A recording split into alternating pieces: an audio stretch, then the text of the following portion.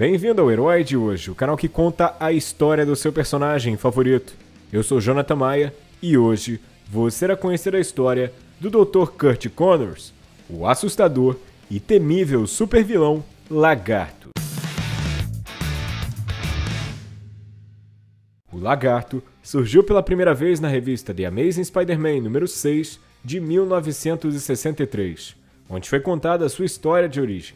O Dr. Kurt Connors era um brilhante cirurgião que, infelizmente, acabou perdendo seu braço direito durante um bombardeio na guerra. Com essa trágica experiência, ele decidiu dedicar a sua vida em descobrir algum caminho que permitisse ele poder novamente exercer a sua profissão como cirurgião. Observando pequenos lagartos, ele ficou fascinado ao perceber que eles tinham a habilidade de regenerar a sua cauda, ainda que a tivessem perdido. Encontrando um caminho, o Dr. Connors passa a trilhá-lo e dedica seus dias e noites em desenvolver um soro especial à base do DNA de lagartos para fazer mutações no DNA de outras espécies de modo a permitir que elas tivessem a mesma habilidade e assim pudessem regenerar membros perdidos. Anos se passam até que o nosso personagem finalmente observa resultados positivos da sua pesquisa e utiliza o soro em si próprio, injetando o soro do lagarto nas veias.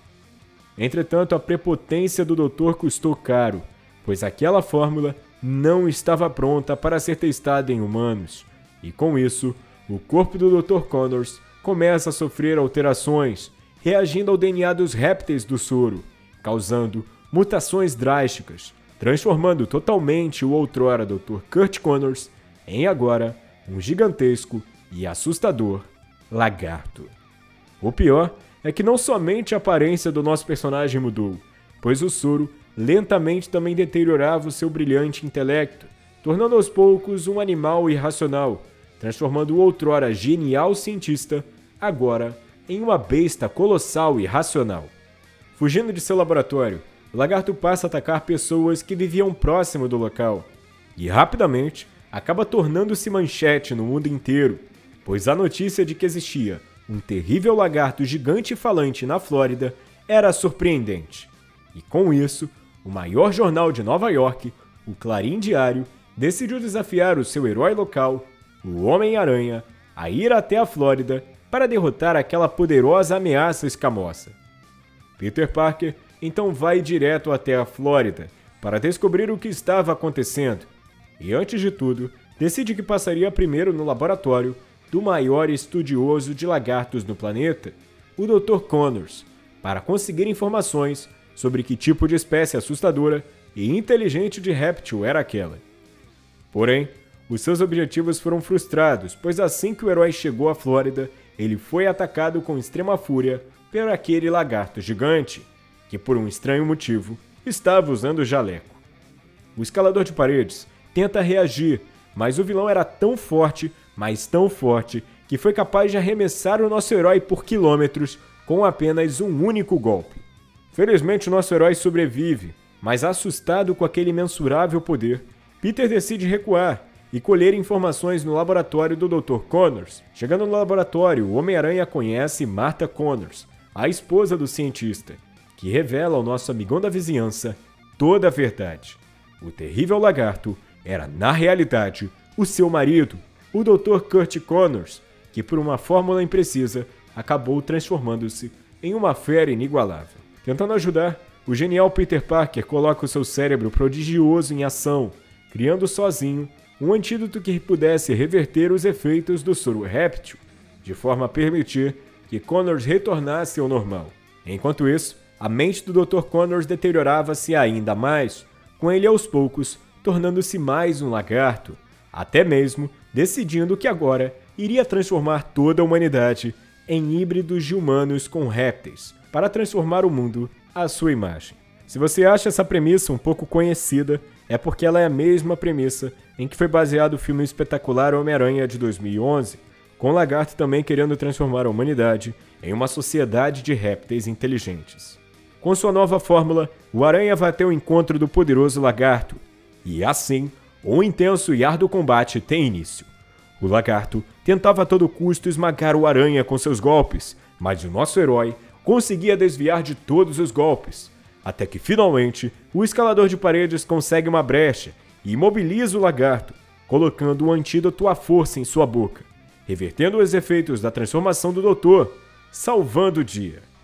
Retornando ao normal, o nosso personagem passaria até mesmo a ajudar o Peter Parker em diferentes ocasiões, como quando, junto do herói, conseguiu criar um caminho para derrotar o Destruidor Rino, ou quando ajudou Peter a criar um soro especial que poderia salvar a vida da tia May, quando ela foi infectada com radiação após receber uma transfusão sanguínea de emergência do seu sobrinho. Entretanto, essa não seria a última vez que o lagarto apareceria, já que em diferentes outras ocasiões o doutor acabaria transformando-se novamente na fera, causando problemas tanto ao escalador de paredes, como também até para os X-Men, que enfrentaram o vilão quando o professor Xavier decidiu visitar o seu velho amigo de faculdade, o Dr. Connors. Chegando ao local, os X-Men descobriram que o doutor virou uma besta escamosa, o lagarto, e assim uma intensa luta começa entre os filhos do átomo e o vilão. O lagarto ataca os nossos heróis com toda a sua fúria, mas os mutantes conseguem reagir, mostrando que em conjunto eles eram verdadeiramente imbatíveis, conseguindo fazer com que o lagarto ingerisse o antídoto e assim retornasse a ser o Dr. Connors. Sendo uma das maiores ameaças já enfrentadas pelo Homem-Aranha, o lagarto é quase invencível, com sua pele sendo extremamente resistente e quase impenetrável, além de possuir um fator de cura elevado, capaz de regenerar até membros em questão de segundos. Além disso, o vilão também possui super força, agilidade sobre-humana, reflexos aprimorados, presas e garras afiadas e também pode controlar qualquer réptil na Terra apenas utilizando o poder de sua mente. Aparecendo em diversas mídias ao longo dos anos, o Lagarto está presente, por exemplo, no jogo Lego Marvel Super Heroes e também está presente no filme espetacular Homem-Aranha de 2011, no qual foi o vilão principal. De qualquer forma, eu acho meio que absurdamente curioso como o Lagarto é quase que um reflexo distorcido do que seria o Hulk. Os dois são cientistas que tiveram suas vidas tragicamente alteradas após experimentos mal sucedidos, tornando-se seres invencíveis mais irracionais. Entretanto, a diferença é que dentro de si, o Hulk quer ser bom, quer fazer o bem pelas pessoas, ser um herói de verdade, enquanto o Lagarto, na verdade, quer é transformar todas as pessoas da Terra em sua imagem e semelhança. Esse vídeo fica por aqui, e se você quer saber tudo sobre o universo do Homem-Aranha, inscreva-se em nosso canal, pois apenas aqui você saberá tudo sobre o amigão da vizinhança. Nos vemos na próxima e um ex-cataplush!